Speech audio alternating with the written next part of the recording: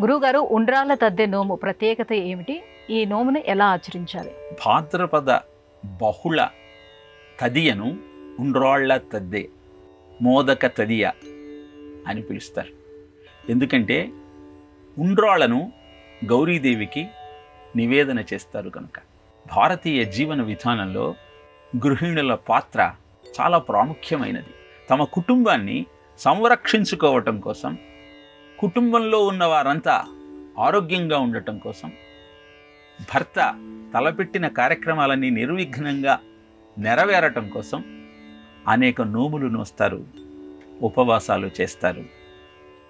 వారు ఇహపరాలను రెండింటినీ సాధించటం కోసం ఈ తాపత్రయం పడతారు. ఉండ్రాళ్ళ తద్దే రెండు రోజుల నోము. విధియనాడే వారు ఐదుగురు ముత్తైదువుల ఇండ్లకు వెళ్ళి మా ఇంటికి వాయనం తీసుకోవటానికి రమ్మంటూ ఆహ్వానిస్తారు. గోరింగ్టాకు కుంకుడికాయలు ఇవన్నీ వారికి ఇస్తారు.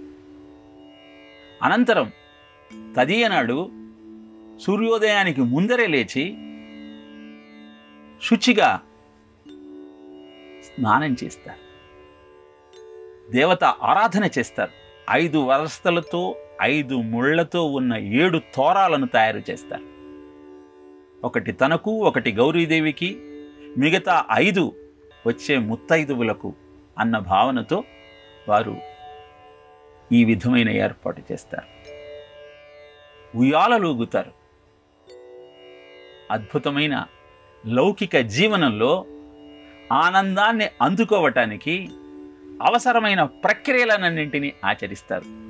అనంతరం మధ్యాహ్నం గౌరీదేవికి ఉండ్రాళ్ళను నివేదన చేసి ఇస్తినమ్మ వాయనం అంటే పుచ్చుకుంటినమ్మ వాయనం అని మూడుసార్లు చెప్పుకొని ఆ ముత్తైదువుల యొక్క ఆశీర్వాదాన్ని తీసుకొని తన వైవాహిక జీవితం సక్రమంగా సాగాలి అన్న ఆలోచనతో గౌరీదేవిని అర్చిస్తారు.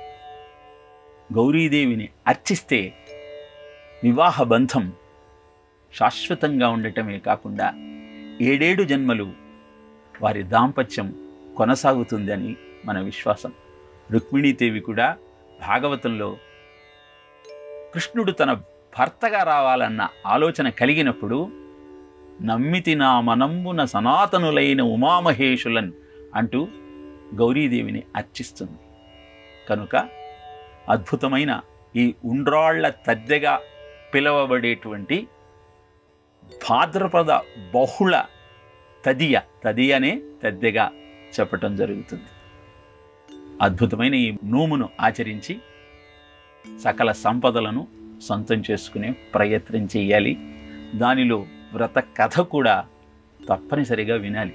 ఆ రోజు రాజును వశం చేసుకున్న ఒక యువతి ఈ ఉండ్రాళ్ళ తద్దె నోమును నోచుకోమని రాజు చెప్పినప్పుడు అహంకారంతో ఇలాంటి నోములేవి నాకు అక్కరలేదు అని నిరాకరిస్తుంది. ఆ కారణంగా దొంగలు ధనాన్ని అపహరించుకుపోతారు ఆమె రోగగ్రస్తురాలవుతుంది. రాజపురోహితుడు చెప్పిన సూచన మేరకు తిరిగి ఈ నోమును ఆచరించి తన సంపదలను పొంది రోగం నుంచి విముక్తురాలవుతుంది.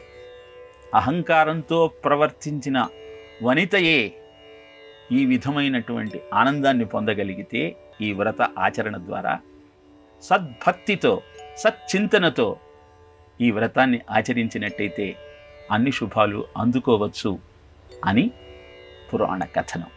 ఆచరిద్దాం. ఆనందంగా ఉండే ప్రయత్నం